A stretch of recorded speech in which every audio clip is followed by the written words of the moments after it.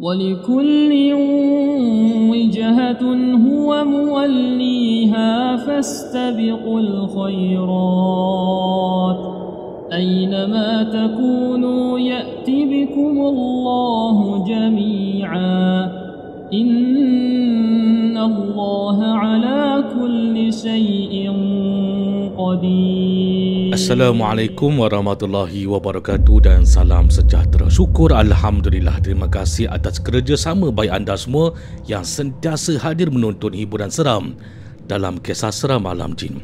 Seperti biasa adalah diwajibkan ke atas kita yang beragama Islam mendoakan saudara Islam kita di Palestin semoga dipermudahkan urusan dalam mempertahankan dalam memperjuangkan tanah Palestin. Maafkan saya sebab tekak ni agak kurang sihat, batuk-batuk. Jadi mungkin tak boleh nak perform dengan baik malam ni. Saya minta maaf banyak-banyak. Sebelum kita ke agenda utama, sedikit saya nak menyentuh berkaitan dengan kisah-kisah yang dikirimkan oleh pengirim yang dikatakan bohong atau mereka-reka oleh saya sendiri. Begini tuan-tuan dan puan-puan.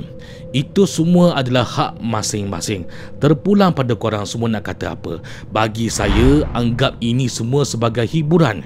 Jangan ambil serius sangat. Ha, apa yang saya boleh katakan, kisah yang saya paparkan semua ini adalah daripada kiriman daripada pengirim bukan yang saya reka-reka. Cuma ada satu kisah, ada satu kisah yang pernah saya siarkan sebelum ini. Kisah yang saya reka, kisah yang saya cipta untuk tontonan semua. Kisah tu bertajuk Suami Syaitan Malam Raya. Ha, bagi mereka yang claim kata saya mereka reka cerita tu, ha, bolehlah tengok cerita ni. Kisah Suami Syaitan di Malam Raya. Ini ya, memang saya reka bukan kisah daripada pengirim.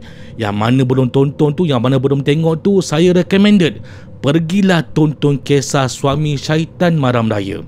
Confirm saya bagi jaminan korang pasti akan berpuas hati. Link saya sudah letakkan di description di bawah. Klik je. Atau korang bolehlah scroll sendiri carilah dalam senarai video saya yang bertajuk Suami Syaitan Malam Raya. Sekarang Kisah malam ini dikirimkan oleh Puan Aisyah berlaku pada tahun 2011. Masa tu tengah cuti sekolah, maka mereka sekeluarga merancang untuk bercuti ke Langkawi selama tiga hari dua malam. Dengan kos bajet yang agak terhad, maka Puan Aisyah dan suami perlu atur betul-betul supaya perbelanjaan di Langkawi ini tidak terlalu overcosting. Kena pelan betul-betul. Oleh sebab demikian, begitulah permulaannya jodoh mereka sekeluarga diketemukan dengan homestay yang sangat-sangat menantikan kehadiran tetamu yang dihormati. Itulah homestay watak utama untuk malam ini. Aisyah ni dia tulis panjang tau. Ha, saya pendekkan kisah ni biar kita tumpu saja detik-detik mereka sekeluarga di rumah homestay tu. Yang lain-lain tu macam pergi sana, pergi situ, pergi sini, melancong sana, melancong sini. Itu saya tak perlulah nak dedahkan. Tak perlulah saya nak kongsikan dengan korang semua. Boleh kan? Masa sampai di homestay tu lebih kurang dalam jam 6.30 petang. Disebabkan dah agak lewat petang jadi tak banyak program yang boleh dilakukan pada hari ketiga percubaan mereka. Permulaan pada hari pertama hanya berehat sahaja. Makan malam pun cari pot yang berdekatan saja tak nak pergi jauh-jauh. Penat. Yalah kan, seharian penat travel daripada Pahang ke Langkawi tu? Ah jauh tu. Mau dia tak penat. Wajarlah kalau mereka sekeluarga ini berehat untuk hari yang pertama. Tak payah tunggu lama. Kata Aisyah malam hari pertama pun mereka dah kena kacau tau dekat dalam rumah ni. Begini situasinya. Dekat dalam rumah ni ada tiga bilik Bilik pertama, bilik master bedroom untuk Aisyah dan suaminya. Bilik yang kedua yang berada di tengah-tengah rumah pula didiami oleh anak perempuan mereka. Manakala bagi anak lelaki Aisyah yang berumur 14 tahun yang namanya Aiman tidur di ruang tamu. Okey je sebab rumah ni pun ada aircon, tak adalah panas sangat, tak ada masalah pun. Cumanya kenapa anak lelaki Aisyah tidak tidur di dalam bilik yang ketiga? Kenapa?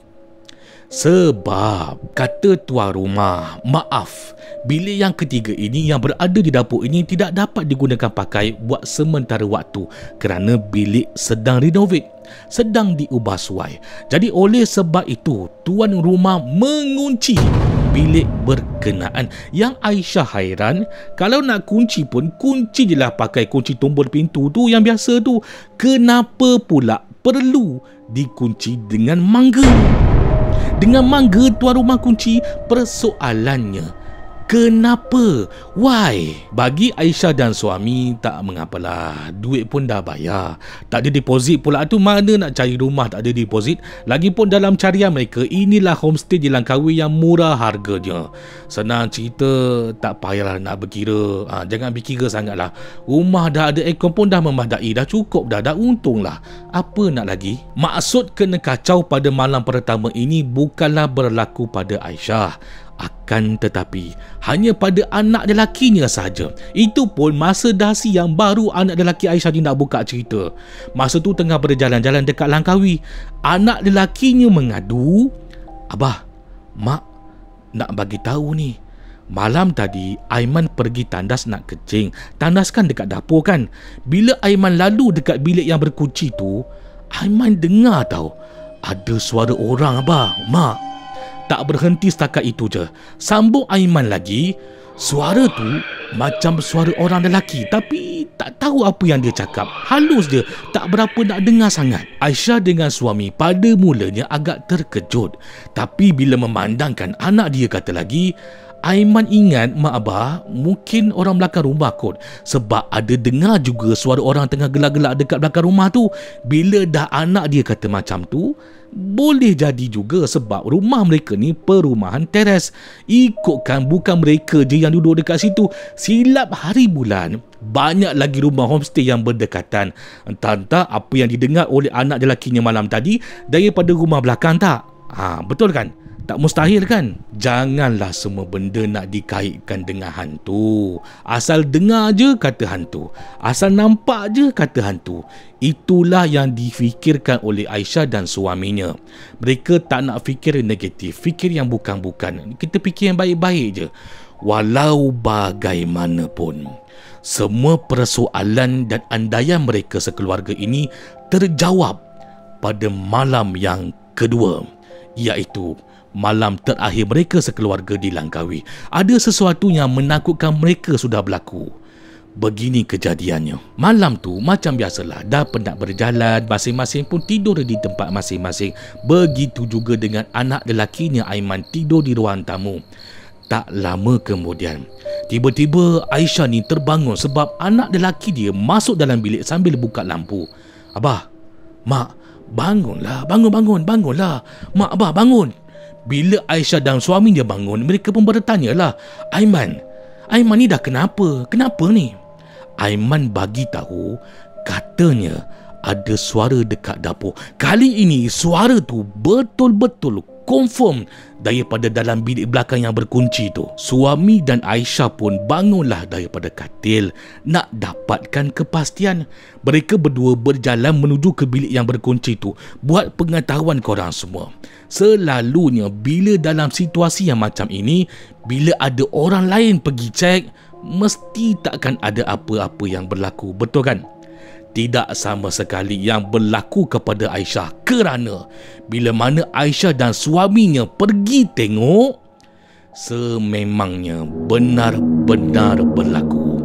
Mereka berdua dengan jelas dapat dengar ada suara lelaki dalam bilik yang berkunci itu berkata-kata seperti ini. Buka pintu Buka pintu. Buka pintu. Buka pintu ni Buka.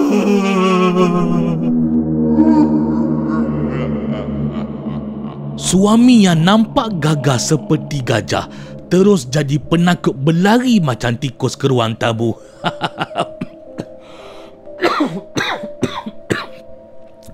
Berlari macam tikus jadi penakut. Ha. Bila ketua keluarga pun dah lari, mestilah Aisyah pun lari juga kan? Hampir punya suami. Mana berani? Bayangkanlah kalau korang berada dalam situasi yang macam Aisyah ni. Bila disuruh buka pintu, Kalau korang nak balas menjawab ke macam ni? Ah, teh, macam mana rupa ni, Yop? Nak buka pintu teman ni tak ada kunci. Ha, takkanlah nak jawab macam tu. Mestilah kita pun terkejut dan berlari kan. Suami Aisyah ni pun bagus juga. Masih lagi boleh berfikiran rasional, berfikiran dengan waras. Walaupun dah pukul 2 pagi, suami dia tak kira. Dia telefon juga dengan tuan rumah, ceritakan apa yang dah dilalui, minta penjelasan daripada tuan rumah apa sebenarnya yang dah berlaku. Buatnya memang ada orang terkunci dalam bilik tu, ha, manalah tahu sebelum suami dia telefon polis, lebih baik kamu tuan rumah ni datang sini. Jelaskan pada kami semua apa yang berlaku. Benda yang macam ni tak boleh bawa main. Kena ambil serius. Dipendekkan cerita, tuan rumah pun datang. Pasangan suami isteri yang dalam lingkungan umur 50-an macam tu lah. Mereka ni pun minta maaf banyak-banyak sebab kisahnya bukan berpunca daripada mereka. Tetapi punca asal sebenarnya daripada penghuni homestay yang dulu-dulu Ha, tak tahulah siapa tak boleh nak teka sebab uh, dah banyak sangat orang keluar masuk daripada rumah ni. Sedar-sedar dah ada penghuni dalam bilik belakang. Asal tidur je dekat bilik belakang mesti kena kacau. Kalau nak kata berubat, ustaz semua dah panggil. Dah jenuh cari itia. Tapi eloknya sekejap je. Lepas tu gangguan tu datang balik. Itu yang mereka ambil keputusan. Mereka kunci je bilik tu. Jangan bagi sesiapa masuk dalam bilik berkenaan. Suami pada awalnya nak marah juga tapi memandangkan tuan rumah ni pun dah uzur dah tua dah. Air muka pula nampak sedih je. Tak sampai hati nak marah kan? Jadi apa mereka buat? Terpaksalah tunggu sampai esok pagi Barulah mereka berkemas untuk berangkat pulang. Pagi-pagi tu tak ada apa pun Okey je. Sebab gangguan suara tu Hanya bermain di dalam bilik yang berkunci je. Ah, Itu pun waktu malam Waktu siang tak dengar apa-apa pun Apa yang Aisyah dan suami boleh buat? Hanya bagi nasihatlah kepada tuan rumah tolong jangan dibuat homestay rumah ini. Buat sementara waktu ini jangan dibuat homestay lagi. Usahakan dulu untuk buang benda tu daripada bilik belakang. Memanglah nampak sukar nampak susah. Tapi kita ni kena beringat setiap masalah pasti akan ada jalan penyelesaian yang paling penting kita ni jangan berputus asa. Teruskan ikhtiar. Insyaallah Allah Subhanahu Wa Taala pasti akan membantu. Antara lambat atau cepat je. Itulah kisah daripada puan Aisyah dan keluarga. Puan Aisyah ni dia minta maaf banyak-banyak. Tidak berani untuk mendedahkan maklumat rumah berkenaan. Sebab katanya kejadian ini berlaku pada 13 tahun yang sudah. 13 tahun yang dulu. Ah, tahun 2011 berkemungkinan besar rumah tu pun mungkin dah pulih agak-agaknya daripada gangguan di syaitan. Ha, kita ni beranggapan baik sajalah. Buat korang pula yang mendengarkan kisah ini, terpulang nak anggap kisah di dongeng ke, kencing ke, kisah benar ke, kisah bohong ke, terpulang itu hak korang. Pada pandailah korang nak menilai. Bagi saya pula, saya anggap je kisah ni sebagai hiburan seram untuk hiburan sampingan. Nama pun hiburan sampingan. Tak penting pun, okey? Sebelum korang nak tekan button subscribe, sekali lagi lagi saya promote di sini. Sila tonton kisah seram suami syaitan malam raya. Jangan lupa tonton kisah ni sebab inilah kisah seram rekaan saya sendiri. Saya reka-reka bukan daripada pengirim. Ini saya reka. Yang mana kata bohong tu kisah tipu tu ah. Tengoklah cerita ni. Yang ini memang saya reka cerita ni. Saya reka cerita ni khusus istimewa untuk malam raya tahun 2023 yang sudah. Yang mana belum tonton, yang mana belum tengok tu saya recommended saya sarankan sila tonton. InsyaAllah korang pasti akan berpuas hati. Akhir kata sila tekan button subscribe, thumbs up dan kongsikan kisah ini supaya kita boleh raih hiburan seram bersama dengan penonton yang lain. InsyaAllah sekiranya diizinkan Allah Taala dipermudahkan urusan oleh Allah Taala kita akan bersua dan bersiap kembali dengan kisah seram daripada pengirim yang seterusnya di dalam. Macam biasa, kisah seram alam jin. Assalamualaikum warahmatullahi wabarakatuh. Terima kasih banyak-banyak kepada korang semua yang sudi dah hadir menonton. A'udzu billahi minasy syaithanir rajim.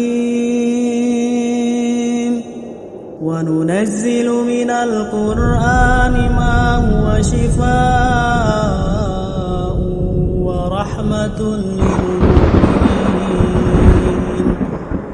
ولا يزيد الظالمين إلا خسارا.